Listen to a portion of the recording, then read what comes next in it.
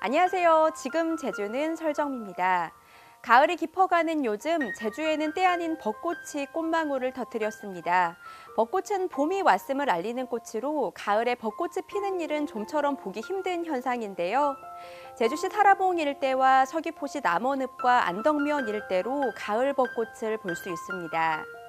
익어가는 노지감귤과 가을바람에 춤을 추는 억새밭에 더해 가을 벚꽃이 제주에서 여러분들을 기다리고 있습니다. 지금 제주는 시작합니다. 먼저 오늘 제주 어떤 소식이 있는지 만나보시죠.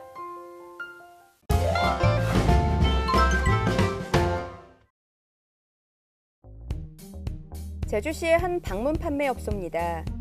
문은 닫혀 있고 주변에는 일부 상품들이 그대로 진열돼 있습니다. 유흥시설의 집합금지 조치는 풀렸지만 방문 판매업소는 완화 대상에서 빠져 오는 11일까지 영업이 중단된 상태입니다. 많은 인원이 모이는 데다 상대적으로 고령층을 대하는 업종으로 분류돼 있기 때문입니다. 이 회사 직장인데 저희도 자식도 있고 먹여 살려야 되는데 어, 겪어보지 않은 사람 잘 모를 겁니다. 근데 저희 입장에서 상당히 어렵지만 이 시국에 지금 직장 잃고 노는 사람도 있는 거 비하면은 저희는 다행이라고 생각하고 제주자치도는 연휴 기간 확진자는 없었지만 28만 명이나 다녀갔고 잠복기 14일을 고려해 오는 18일까지 강화된 방역 조치를 이어갈 계획입니다. 타 지역 방문자가 증상을 보일 경우에는 진단 검사도 무료로 지원합니다. 또 정부보다 한 달 빠른 오는 13일부터 마스크 착용 의무 시설에 대한 단속에도 들어갑니다. 지난 연휴 때도 약 30만 이상이 에, 광학이 왔다 갔습니다. 이렇기 때문에 그 워낙 접재가 많습니다. 지금도 저희들이 위험 관리 기간에 18일까 정한 이유도 다른 시도보다는 위험성이 높기 때문에 선제로 대응하기 위해서 이렇게 조치를 했습니다. 제주도가 방역의 고비를 더 죄는 이유는 지금부터가 진짜 고비이기 때문입니다. 코로나19 전파력이 가장 강한 시기가 감염 후 5일 이후인데 연휴 첫날인 지난달 30일 감염이 있었다면 지금부터 증상이 나타나게 됩니다. 지난 광복절 연휴 때도 일주일 정도가 지난 뒤부터 확진자가 쏟아졌습니다. 게다가 추석 연휴 마지막 날부터 5일 후는 한글날 연휴와 또 맞물리면서 긴장을 늦출 수 없습니다. 휴가가 끝나고 난 직후부터 보면은 5일 이후에 앞으로 환자가 많이 발생할 소지가 크다는 거죠. 특히 무증상 감염이 있지 않습니까? 그러다 보니까 제주도에 체류할 때에는 증상이 없으면서도 남한테 감염시킬 수 있는 분들이 계시거든요. 추석 연휴 코로나19 확진자가 발생하진 않았지만 앞으로 2주 동안 더 지켜봐야 특별 방역의 성패 여부가 판가름 날 것으로 보입니다. 제주자치도는 지난달 30일부터 닷새 동안 추석 연휴 종합 상황실을 운영한 결과 3만 3,500여 건의 민원이 처리됐다고 밝혔습니다. 분야별로는 관광 불편이 1만 천여 건으로 가장 많았고 교통 불편이 만여 건으로 뒤를 이었습니다.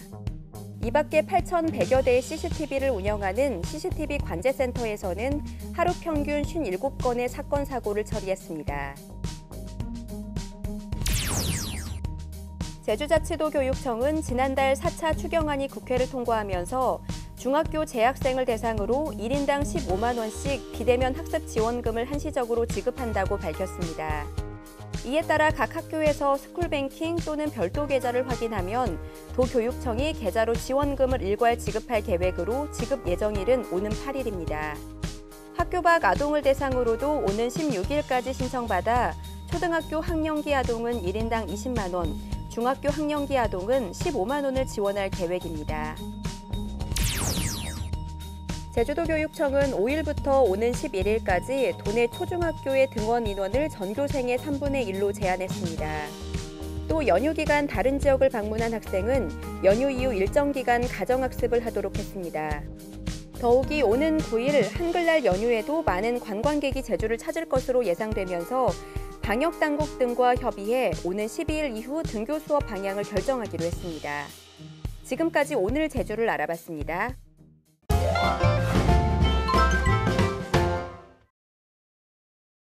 안녕하세요. 설정미입니다. 오늘은요, 제주의 파란 바다가 보고 싶어서 해안도로에 왔습니다. 해안도로에는 무인 카페가 되게 많이 있거든요. 오늘은 그 중에 한 곳에 가보려고 합니다. 이곳이 제가 오늘 가볼 무인 카페입니다. 들어가 보도록 하겠습니다. 와, 아름다운 그림이 있어요.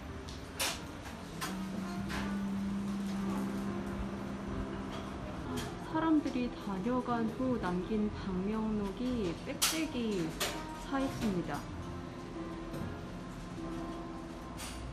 자, 메뉴를 살펴보도록 할게요. 어, 무인 카페는요, 가격이요, 정말 저렴해요. 그래서 아메리카노 한 잔이 2,500원, 카페라떼 또는 카푸치노가 2,500원. 티 종류도 있는데요. 허브티도 무농약인데 2,500원이에요. 커피를 만들 수 있는 곳은 1층이랑 2층 다 있습니다. 그래서 편하신 곳에서 이용하시면 됩니다. 커피, 치즈, 마늘빵이 있습니다. 8개 가격도 저렴해요. 1,000원. 16개 2,000원. 40개 5,000원. 진짜 저렴하죠. 자, 이용 방법이에요. 모든 게 다 셀프입니다. 먼저 메뉴를 선택해 주시면 되고요. 선택한 메뉴를 알아서 이용해 주시면 됩니다. 그 사용한 새끼들은 세척해 주셔야 하고요. 제시된 가격표에 따라서 맘소리마, 맘소리함에 넣어주시면 됩니다. 일단 제가 스스로 만든 아이스 아메리카노와 커피콩 빵입니다. 이 아이는 커피콩 빵이에요. 모양은 커피콩 모양이고 안에 콩이 박혀 있죠.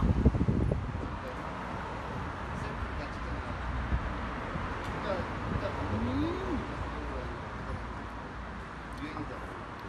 맛있네요. 아, 파란 바다의 아메, 아메리카노 한잔 하시죠.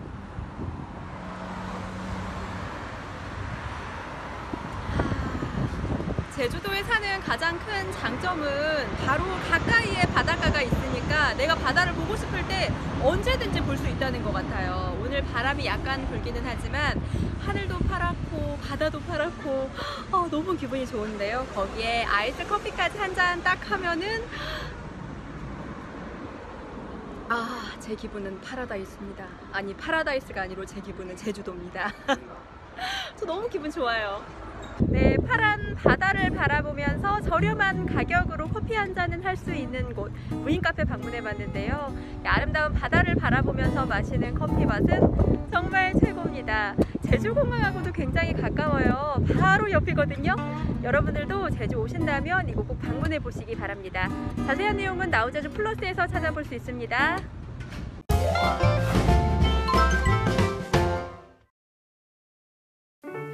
오늘도 쌀쌀한 가을 날씨에 옷차림 더욱 따뜻하게 하셔야겠습니다. 북서쪽에서 찬 공기가 남하하면서 오늘 아침 최저 기온은 16도 내외에서 출발했고요. 낮 최고 기온은 22도까지 오르겠습니다. 한낮에는 포근한 햇살에 기온이 오르겠지만 아침과 저녁으로는 쌀쌀하겠는데요. 일교차에 감안한 옷차림 해주시기 바랍니다.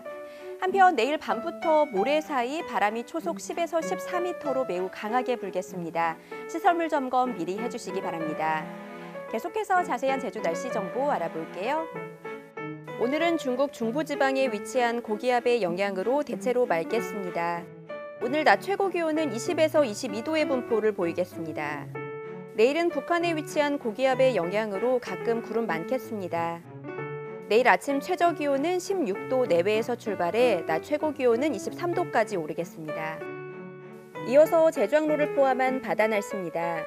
제주도 남쪽 먼바다에는 풍랑주의보가 발효 중인 가운데 오늘 오후까지 바람이 초속 10에서 16m로 매우 강하게 불고 물결도 최고 4m로 매우 높게 일겠습니다. 그 밖의 해상에서도 물결이 1.5에서 2.5m로 높게 일겠는데요. 항해나 조업하는 선박은 각별히 유의하기 바랍니다. 오늘 제주항로를 오가는 여객선은 일부 결항됐습니다.